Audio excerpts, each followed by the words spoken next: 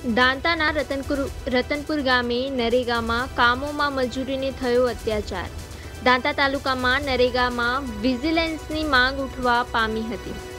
વાત કરવામાં આવે તો રતનપુર ગામમાં અંદર ગરીબ પરિસ્થિતિના વયના લોકો વધુ રહેતા હોય અને જોબ કાર્ડ મજૂરો અર્થે રહેતા હોય તેવા લોકો સને અઢાર ઓગણીસ ચાલુ કામ દરમિયાન અગાઉ બિલોમાં તેમને એકસો બાણું રૂપિયાનું વેતન આપવામાં આવ્યું હતું.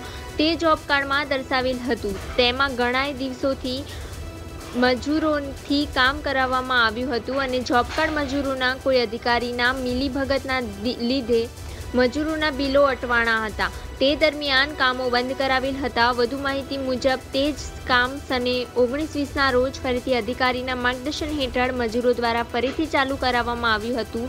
એની માટી કામ માટે આશરે ઓગણીસથી લઈ લગાઈને એકવીસ સુધીના ગરીબ માણસો દ્વારા કામ કરાવવામાં આવ્યું હતું. તેમાં મજૂરો દ્વારા જાણવા મળ્યું હતું કે અમને બહાર કામ કરીએ તો ભારતના વડાપ્રધાનશ્રીએ મજૂરીનું વેતન મિનિમમ ત્રણસો રૂપિયાથી અધિક કરેલું હોય તો સરકારશ્રીના કામોમાં કેમ ભ્રષ્ટાચાર થયો હોય તેવું મજૂરો દ્વારા જાણવા મળ્યું હતું કે અમને આખા દિવસ પ્રમાણે કામમાં અડસઠ રૂપિયા જોબ કાર્ડ ભરવામાં આવ્યું છે તો ગરીબી હેઠળ ગરીબીને અન્યાય થતો હોય તેવું ગરીબો દ્વારા જાણવા મળ્યું હતું અને ખરેખર લોકડાઉન ત્રણ મહિના ઘરે બેસી રહ્યા હતા, પોતાનું ગુજરાન અને ઘર ચલાવવા મજબૂર બન્યા હતા લોકડાઉન ખુલતાની સાથે ગરીબોને સરકારશ્રીના માર્ગદર્શન હેઠળ ગરીબો માટે નવી નવી યોજનાઓ બહાર પાડવામાં આવી હતી. ગરીબો તેનાથી ખુશાલી જોવા મળી હતી. તેઓ લોકો બહાર મજૂરી ન જઈ સરકારશ્રીના કામોમાં ગયા હતા.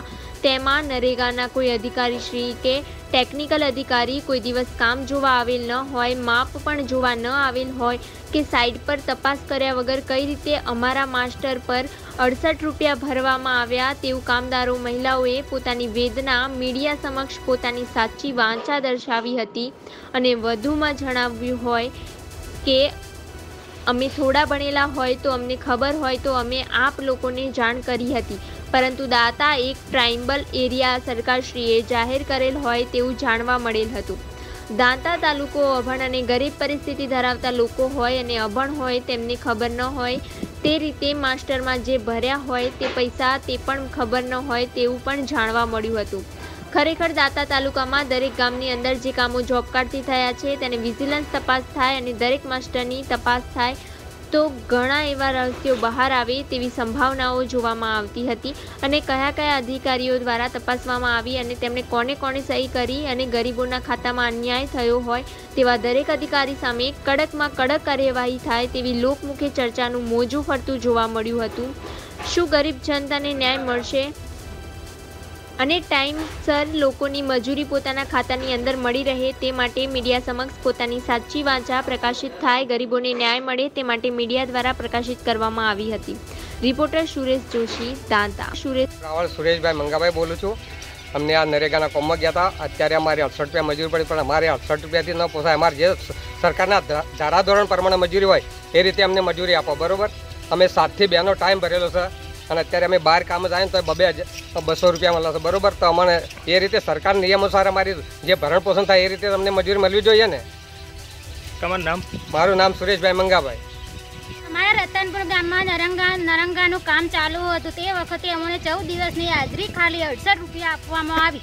તે સરકાર સરકાર દ્વારા અમને અડસઠ રૂપિયા કેવી રીતે આપવામાં આવે? અમારી ગરીબીની ગરીબીની લોકડાઉનનો અમારી ગરીબીની કોઈ પણ અજાણ લોકડાઉન પૂરું થયા પછી અમારું કામ શરૂ કર્યું.